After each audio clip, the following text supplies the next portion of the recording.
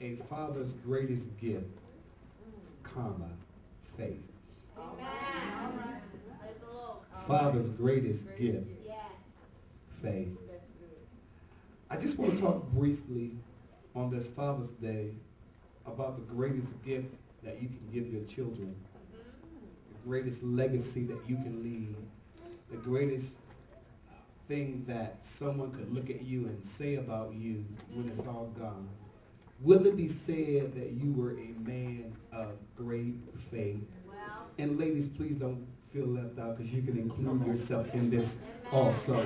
But since it's Father's Day, I just want to focus on the fathers, but it is applicable to us all. Right.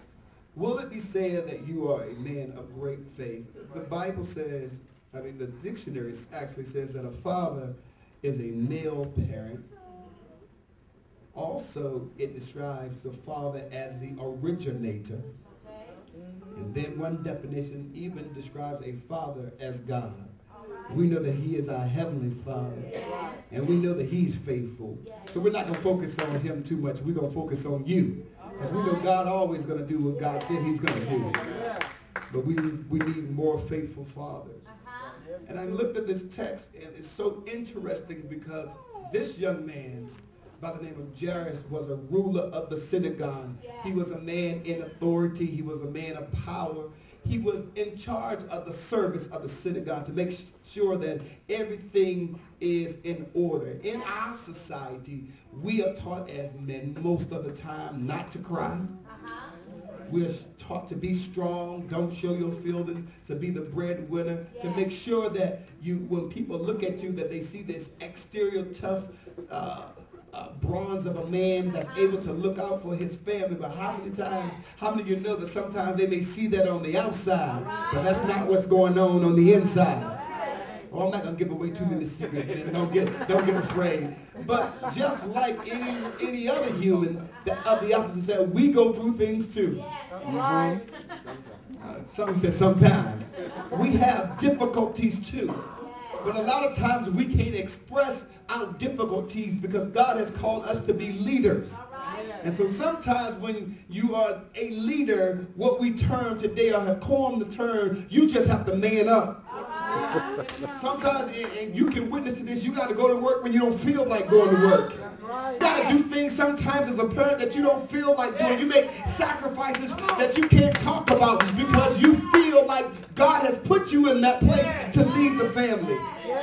And as a father, many times, and even in these difficult times, I know some fathers that have gotten laid off from their job and they feeling insignificant and like, God, what am I going to do? But this is the time that you don't lean on your own understanding, but you trust in the Lord and say the Lord will make a way somehow. You, you say, you know, and uh, and then people will say, well, what is your plan? My plan is the word of God. I'm leaning and depending on what God has said. I'm calling the men to rise up in faith and to stand up and say, you know what? Whose report will you believe? We're going to believe the report of the Lord. I know things may look difficult and it may look like that burdens are on every hand and dark clouds dim the sky every day. But I came by to tell you, if you just get a little bit of faith, if you just learn to hold on to what God said, if you just learn to grab a hold of his word, and as men of God, if we just declare the word of the Lord and say, the Lord said this is going to happen, we will be great men and we will leave a legacy for our children and our spouses. Come on, clap your hands and give God praise. And so in this text, we meet a young man by the name of Jairus uh-huh. and, and, and nothing drives you to God like a tragedy. Has anyone ever suffered a tragedy or been through something traumatic? And sometimes, you know, we take the wrong approach to tragedies. I know tragedies are not enjoyable. And I know no one looks forward to tragedies. But tragedies have a way of taking us back to the creator, the originator, God the Father. Tragedy has a, has a, has a tendency to make us forget about all the things that we thought were important and really focus on what really is important. And just like uh, uh, this, just like pain, it comes in to make you aware that there's a problem somewhere. Tragedy does the same thing, and a lot of times it's a spiritual awareness. Man, I haven't been praying like I should have been praying. I haven't been as thankful as I should have been. I haven't been giving God praise like I should have been. So sometimes, even in the midst of our tragedy, that's why we can give thanks and say, Lord, if it had not been for this tragedy, I wouldn't have known how good you were.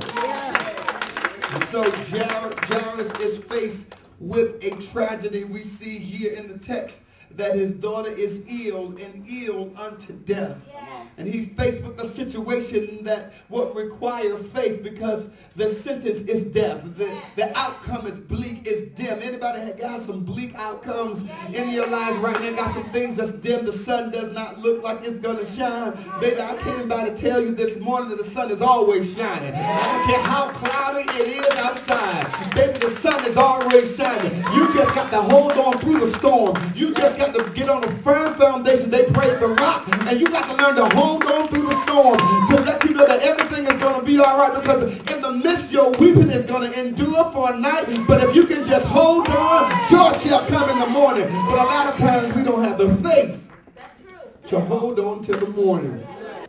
And so he comes because evidently he had heard something. That's why it's good to go to Bible study. It's good to go to church. It's good to fellowship because when those dark times come, you have to have something on the inside that can pull the faith out of you. The Bible declares, I see I'm going to have to work real hard. Come get my jacket this morning. The Bible declares that faith comes by hearing and hearing by the word of the Lord. See, see, you got to hear something, but we, we are listening to a lot of things. It didn't, I want you to understand the principle. You're going to get faith one way or the other. What you hear is going to give you faith in that. So if you're constantly listening to negative things, guess what? You're going to have faith in every negative report. If you're constantly listening to gossip, you're going to have faith in all